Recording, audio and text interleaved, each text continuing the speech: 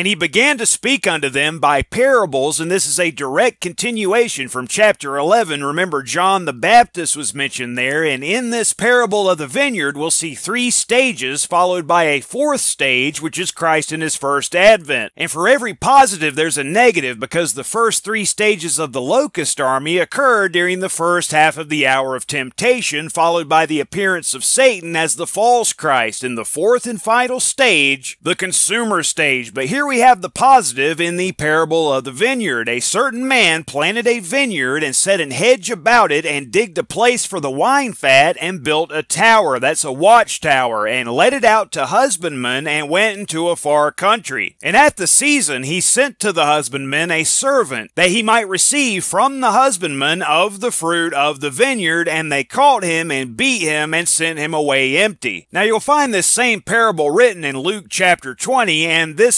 you'll find in verse 10 and I am of the opinion that this first servant is symbolic of the time frame from Abel to around the time of the split of the 12 tribes into the two houses. Why did it start with Abel? Because originally Christ was supposed to come from Abel but Cain slew him as well as the 12 tribes. They were all supposed to come from Abel and that's why his blood cried out to God from the ground. In Genesis chapter 4 verse 10 if you go back to the Hebrew that word is bloods. What hast thou done? God said to Cain after he murdered Abel. The voice of thy brother's bloods, plural, crieth unto me from the ground. Speaking of the bloodline that was supposed to come from Abel but had to come through Seth instead. So I believe the time frame here of this first servant, this first stage to be from Abel to around the time of the split of the 12 tribes into the two houses with the book of Isaiah being written around that time and this is the parable of the vineyard and you might think of the song of the vineyard in Isaiah chapter 5 and also during that time Hosea, Amos, Micah and possibly Joel, Obadiah, and Jonah. That's partially speculation because Joel, Obadiah, and Jonah were not dated, but regardless, that's who this first servant is,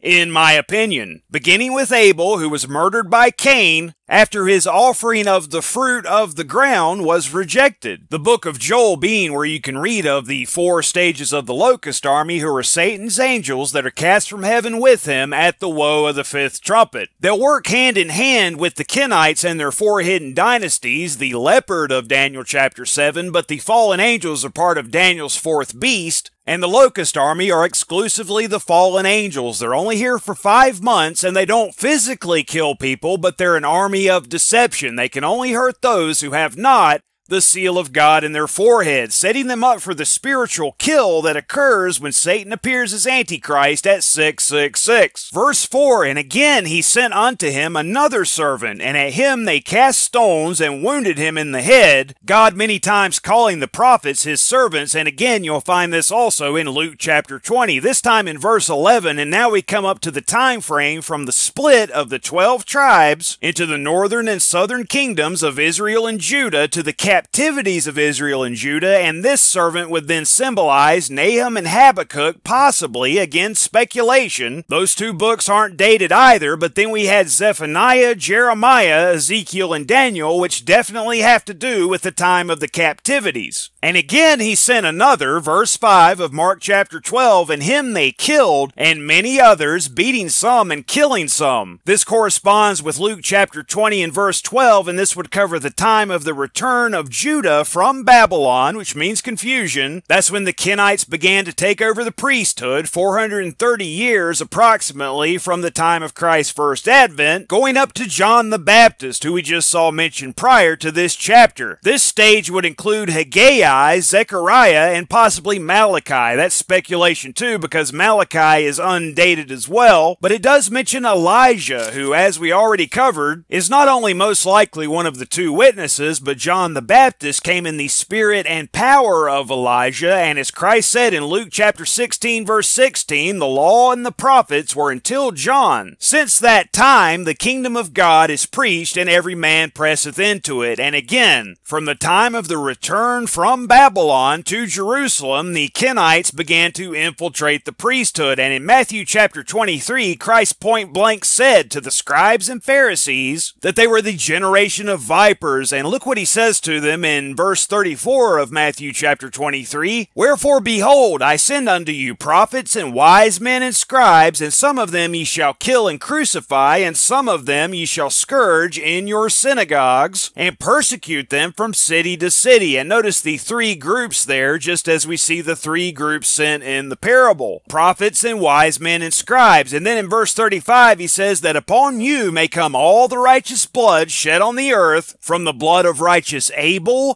unto the blood of Zechariah, son of Barachias, whom ye slew between the temple and the altar. And that happened after the return from Babylon, Zechariah being one of the last books of the Old Testament. Verily I say unto you, all these things shall come upon this generation. So with that in mind, as well as Genesis chapter 3 verse 15, we'll now see Christ speak of his crucifixion in his first advent that will be brought about by the Kenites in Mark chapter 12 and verse 6. Having yet therefore one son, Son, his well beloved, he sent him also last unto them, saying, They will reverence my son. But those husbandmen said among themselves, This is the heir. Come, let us kill him, and the inheritance shall be ours. And they took him and killed him. They caused him to be crucified and cast him out of the vineyard. Not only did they kill Christ, but they cast Christianity out of Jerusalem as best they could, as it is this day. What shall therefore the Lord of the vineyard do? He will come and destroy the husbandman and will give the vineyard unto others. It's even written in Matthew chapter 21 where you see this same parable written there also in verse 43 of Matthew chapter 21. Therefore I say unto you, speaking to the scribes and Pharisees, the kingdom of God shall be taken from you, the Levitical priesthood that had been hijacked by the sons of Cain and given to a nation bringing forth the fruits thereof. The true Levitical priesthood that you can read of in Ezekiel chapter 44 before God's election, and the nation bringing forth the fruits of the kingdom of God is the many membered body of Christ, regardless of their ethnicity or geographic location. And as we know from Mark 13, the elect will be gathered to Jerusalem when the true Christ returns, the good figs written of in Jeremiah chapter 24, the evil figs being the Kenites, the tares, the natural branches of the tree of the knowledge of good and evil, as well as those grafted on to Satan's family tree, whether it be by unbelief, rejection of Christ, a combination of both, or by being deceived at the sixth trumpet into worshiping Antichrist. That's why you want to get into your Father's Word now and study it chapter by chapter and verse by verse while there's still time. Verse 10 And have ye not read this scripture? The stone, the true rock, that is to say, which the builders, the Kenites, rejected, is become the head of the corner. This was the Lord's doing, and it is marvelous in our eyes. Christ being the true rock, that stone that smashes that image written of in Daniel chapter 2, when he returns at the seventh trumpet to reign with a rod of iron as King of kings and Lord of lords. And these are the children of the false rock, the king of Tyrus, Satan that is to say, that he's speaking to here, who even hijacked the cornerstone symbolism because the cornerstone is the top of a pyramid. The pyramid with the cornerstone stone with the all seeing eye is a symbol of the Kenites that they stuck on their Federal Reserve note in more recent times, with their rock, not our rock, depicted as the cornerstone. And Novus Ordo Seclorum means New Order of the Ages or New World Order, which is what they call the one world political system they work to bring into being through their four hidden dynasties. They're the he goat now, working to bring about the one world political system, but at the woe of the fifth trumpet, whenever the New World Order emerges,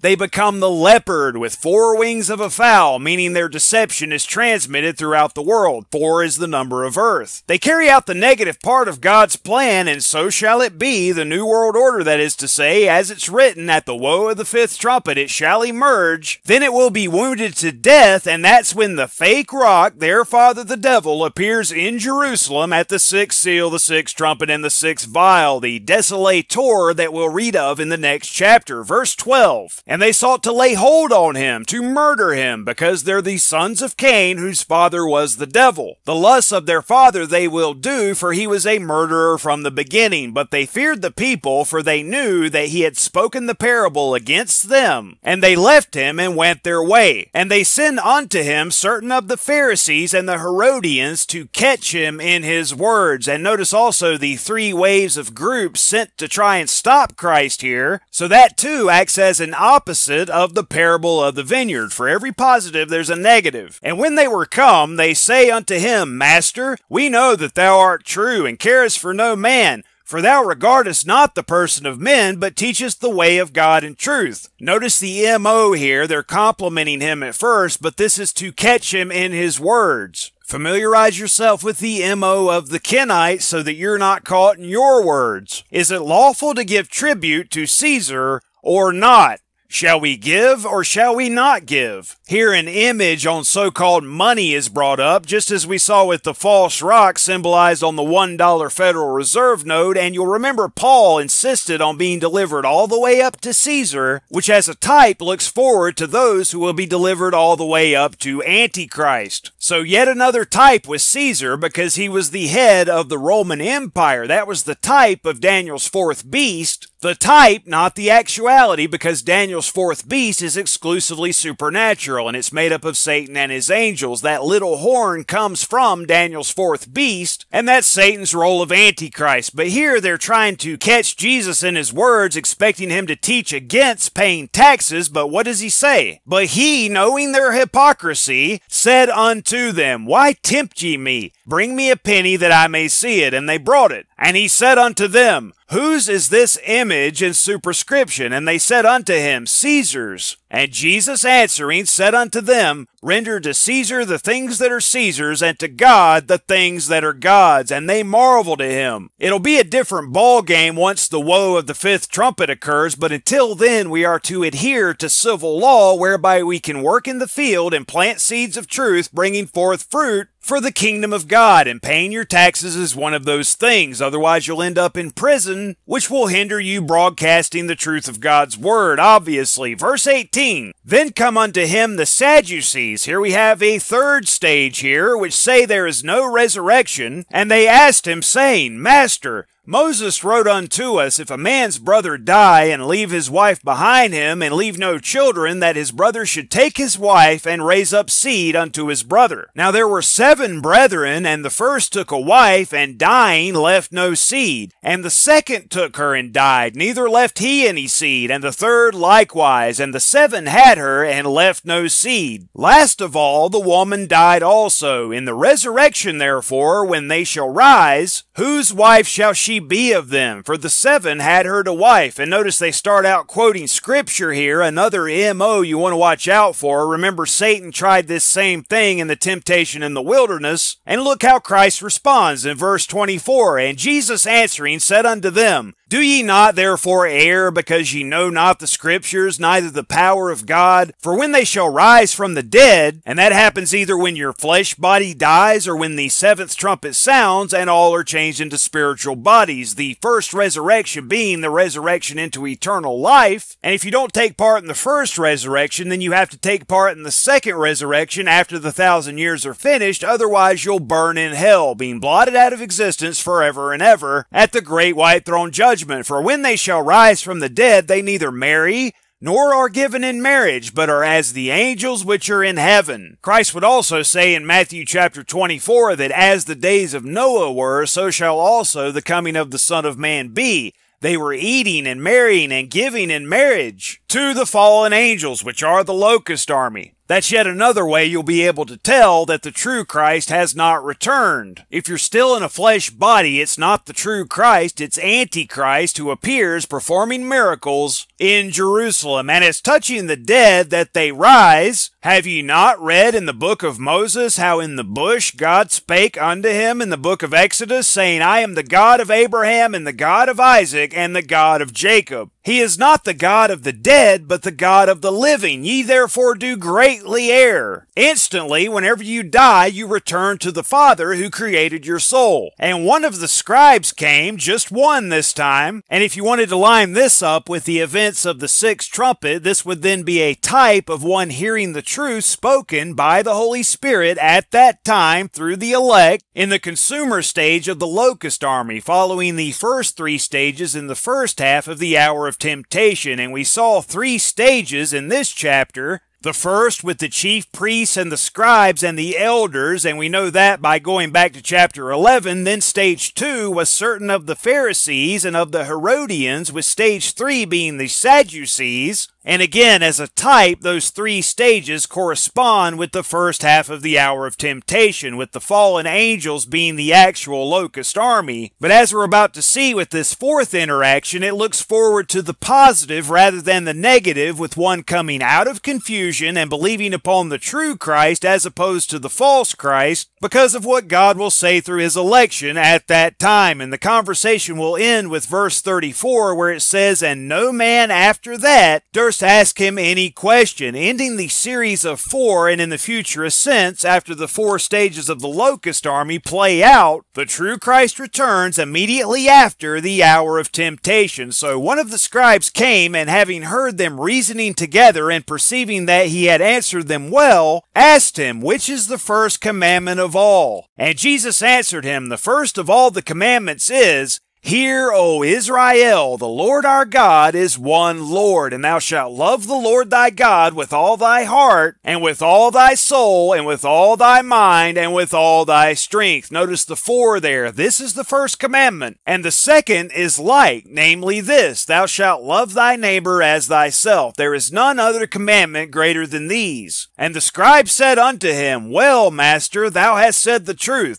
For there is one God, and there is none other but He, and to love him with all the heart and with all the understanding and with all the soul and with all the strength, and to love his neighbor as himself is more than all whole burnt offerings and sacrifices. And when Jesus saw that he had answered judiciously, this should really say, being properly translated, he said unto him, Thou art not far from the kingdom of God. And no man after that durst ask him any question, discreetly again, meaning judiciously. So this scribe was close, but but Christ is the only way to the Father, and you have to believe upon Christ in order to receive everlasting life and go into the third world age. And maybe this scribe did believe once he saw Christ's death, burial, and resurrection. I would hope so. But regardless, Christ will go on to warn us about the scribes. Verse 35 And Jesus answered and said, While he taught in the temple, How say the scribes that Christ is the son of David? For David himself said, By the Holy Spirit, the Lord said to my Lord, Sit Sit thou on my right hand till I make thine enemies thy footstool. David therefore calleth him Lord, and whence is he then his son? And the common people heard him gladly. And according to the flesh, through his mother Mary, Christ was descended from David as well as Levi. That's both the king line and the priest line, but David called him Lord because Christ is God the Son, as it's also written in the book of Psalms in Psalm 45. And we know from Hebrews chapter 1 verse 8 that God the Father said, Thy throne, O God, is forever and ever. God the Father speaking to God the Son. The scepter of thy kingdom is a right scepter. Thou lovest righteousness and hatest wickedness. Therefore, God, thy God, hath anointed thee, and that's what Messiah means, the anointed one,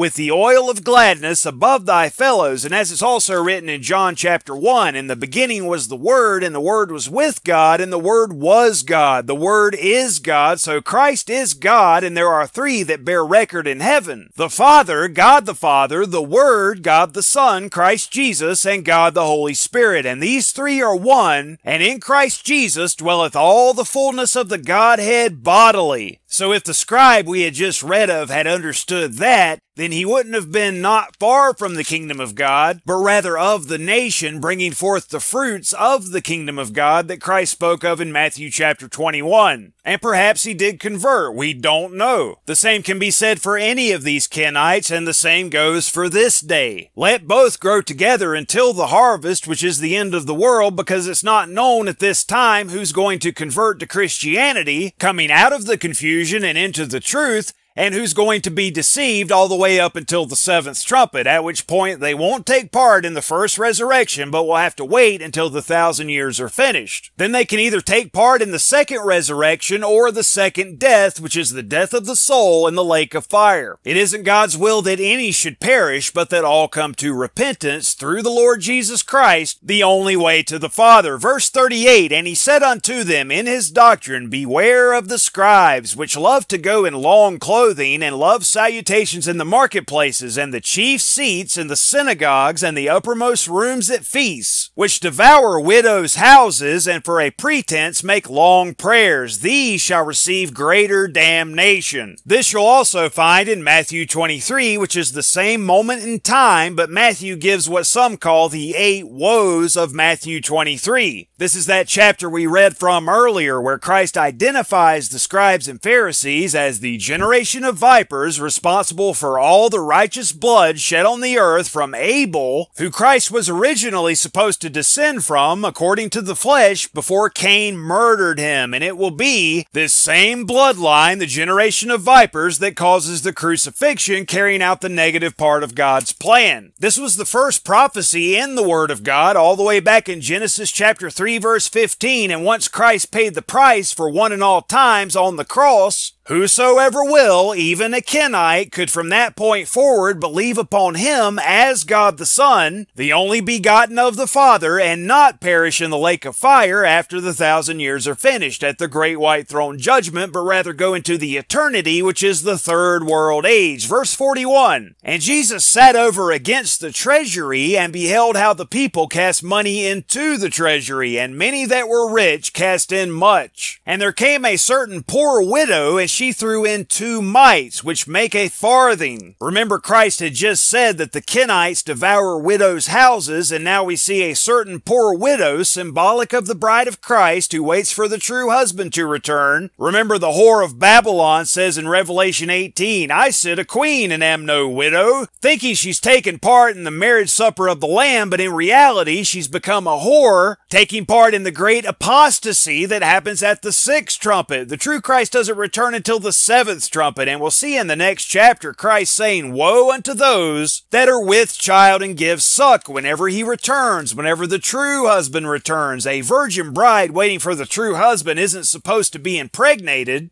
That's the analogy there, and they will have been impregnated in their forehead with the mark of the beast, which is the deception that Christ has returned when it's really Antichrist, Satan, whenever he appears in Jerusalem in the fourth and final stage of the locust army, the consumer stage. That's at the sixth trumpet, and in their right hand is the same figure of speech as giving suck, inasmuch as they'll be taking orders from Satan, carrying out those so-called wonderful works, which are really works of iniquity, as we know from Matthew chapter 7. In their right hand, meaning the work that they do, is simply a figure of speech. Verse 43, and he called unto him his disciples, and saith unto them, Verily I say unto you, that this poor widow hath cast more in than all they that have cast into the treasury. For all they did cast in of their abundance, but she of her want did cast in all that she had, even all her living 100% and that's what God expects from you. We're not talking about money here. It's an analogy very much like take up your cross. Love the Lord thy God with all thy heart and with all thy soul and with all thy mind and with all thy strength. Notice the four there the widow casting in a fourthing, and she of her want cast in all that she had, even all her living. That's what your heavenly Father wants from you, your love. That's what all this is about. Satan rebelled in the first world age, and God wants to know